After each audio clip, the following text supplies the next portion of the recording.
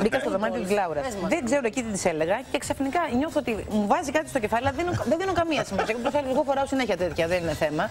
Με βόλεψε που πήγαν τα μαλλιά από πίσω, με βόλεψε μετά που ξεβάφτηκα, μέχρι που κοιμήθηκα με τα κέρατα στο κεφάλι. Όπως σας το λέω. Και ξυπνάω σήμερα τα βρήκα στο κρεβάτι κάπου ενδιάμεσα. Τέλος πάντων, τα βρήκα, λέω αυτά που φορούσα. Και μέχρι να πάω πάλι να ξαναπληθώ, να ξαναβάλω κρέμες όλα στη σειρά, με βολεύει γιατί πάει πίσω το μαλλί και δεν μπασελίβεται το μαλάκι από την κρέμα. Οπότε το χειρότερο είναι ότι τα φορούσα. Έφυγα, μπήκα στα μάτια.